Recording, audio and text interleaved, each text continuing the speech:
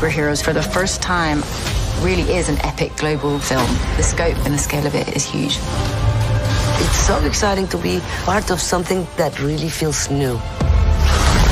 The impact that Eternals will have on the MCU will be nothing less than redefining the cinematic universe entirely.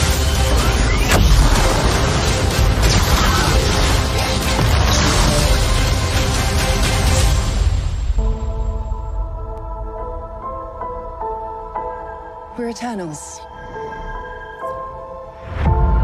We came here 7,000 years ago.